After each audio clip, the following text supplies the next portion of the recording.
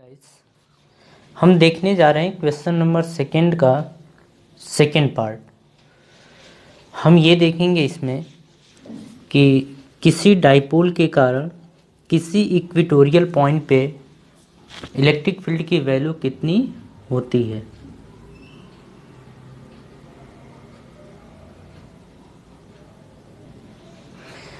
देखिए, ये हमने एक डाइपोल अपना रखा। इस डाइपोल के कारण हम देखेंगे इस वाले पॉइंट पे इलेक्ट्रिक फ़ील्ड की वैल्यू कितनी होगी। ठीक है? चलिए, देखते हैं। अगर ये पॉजिटिव चार्ज है तो पॉजिटिव के चार्ज के कारण इस पॉइंट पर जो इलेक्ट्रिक फ़ील्ड की डायरेक्शन होगी, वो आउटवर्ड होगी। लेकिन इस चार्ज के कारण जो इलेक्ट्रिक फ़ील्ड की डायरेक्शन होगी, वो टूवर्ड्स इट्स होगा। ये। ठीक है? हम ये मान लेते हैं कि दोनों के बीच का जो एंगल है, वो थीटा है। ये थीटा ये हमने रख लिया। तो देखिए, अगर हम बात करें कि ये फिर हमारा एंगल कितना होगा दोनों के बीच में तो आपने ये पढ़ा होगा कि जो एक्सटीरियर एंगल होता है, वो इंटीरियर एंगल के सम के बराबर होता है। मीन्स ये हो जाएगा आपका टू थीटा ठीक है? तो हम बोलेंगे कि ये वाला जो इलेक्ट्रिक फ़ील्ड था, वो था electric field at point P due to B ये होगा। तो हम थोड़ा इसको देख लेते हैं कि आगे क्या होगा। तो देखिए, अगर हम इसके और इसके कारण देखें तो इन दोनों के कारण जो इलेक्ट्रिक फ़ील्ड का रिजल्टेंट होगा या नेट होगा, ये इधर को होगा। ठीक है? तो ये होगा हमारा ई नेट ये आ जाएगा। अब देखिए, इसके बाद यही हम देखेंगे। हमने ये देखा था कि इलेक्ट्रिक फ़ील्ड होता है के क्यू बाई आर स्क्वायर ये होता है। ये दो, ये डिस्टेंस होती है उस पॉइंट तक की जहाँ से जिस पॉइंट पे हम निकालते हैं। अब देखिए, जो हमने ये परपेंडिकुलर लिया था, इस डाइपोल से ये डिस्टेंस हम ले लेते हैं आर ठीक है? तो ये वाली डिस्टेंस क्या होगी? ये होगी R square plus D square root में। ये होगा। अगर हम इस वाले डिस्टेंस की बात करें तो ये भी डिस्टेंस उतना ही होगा। ठीक है?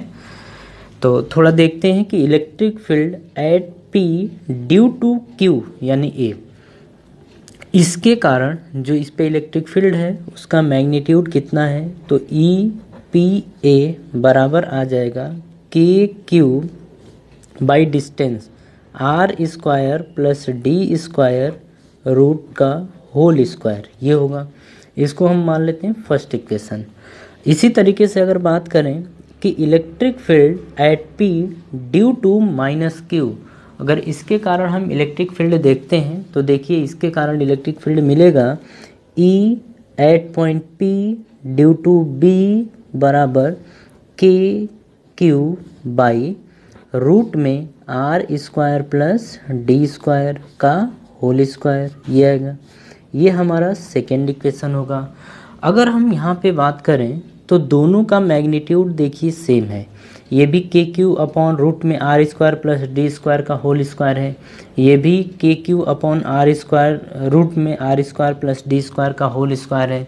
तो हम यहाँ पे बोल सकते हैं कि ई पी ए बराबर ई पी बी। अगर दोनों का हम मॉड ले लें तो इनके मैग्नीट्यूड की बात हो रही है। दोनों का मैग्नीट्यूड क्या होगा? सेम। और इसको हम ले लेते हैं ई के बराबर। ठीक है?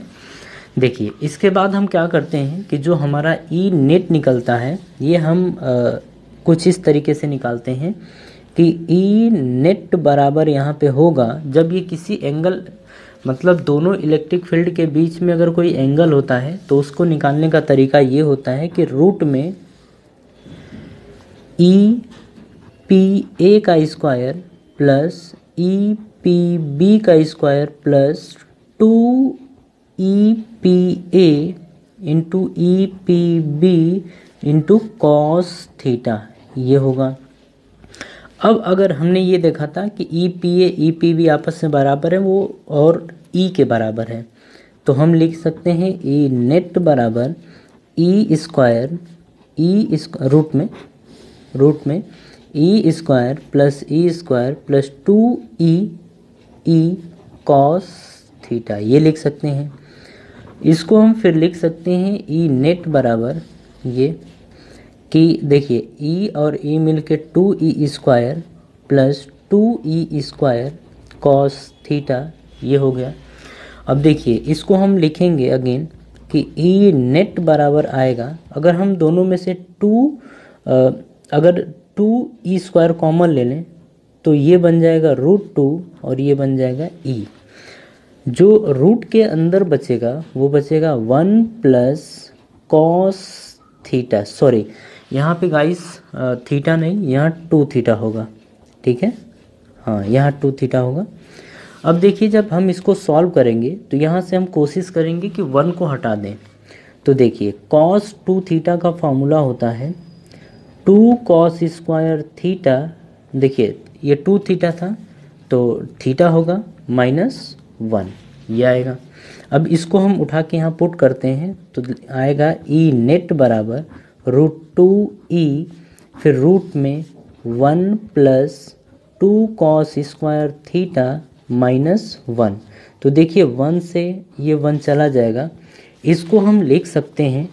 अब देखिए, ये टू है और इसको बाहर निकालेंगे तो रूट टू बनेगा। तो पहले से देखिए, एक रूट टू ये है और एक रूट टू ये भी बाहर आएगा। इंटू रूट टू और ये ई है तो ई रहेगा। देखिए कॉस स्क्वायर जो थीटा इसके अंदर बचेगा, उसका आएगा कॉस थीटा ठीक है?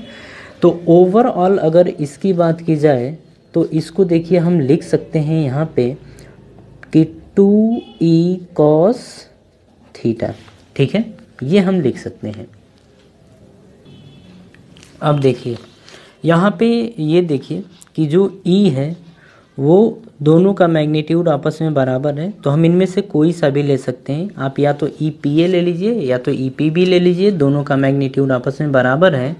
तो आप इसी को उठा के वहाँ पुट कीजिए। देखिए, यहाँ पे, जब यहाँ पे बचा था कि ई e नेट बराबर टू ई कॉस थीटा अब इसी के प्लेस पे हमें ये चीज़ें पुट करनी है ई e की वैल्यू तो देखिए, यहाँ जब पुट करेंगे तो हम लिखेंगे कि ई e नेट बराबर टू, अब देखिए ई की वैल्यू अभी हमने देखा था कि k q by r square plus d square ये रूट का होल स्क्वायर था, ठीक है? ये था, यहाँ देखिए, ये दिया है तो ये था। अब हम इसको लिख सकते हैं कि ई बराबर k q by r square plus d square ये हम लिख सकते हैं।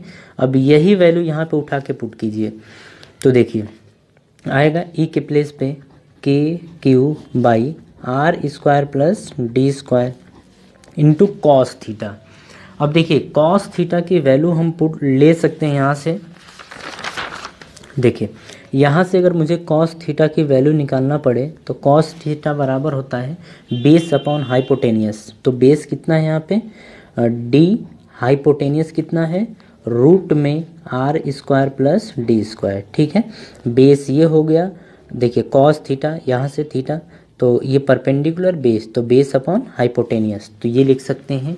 तो हम यहाँ पे लिखेंगे कि डी अपॉन रूट में r square plus d square ये हम लिखेंगे।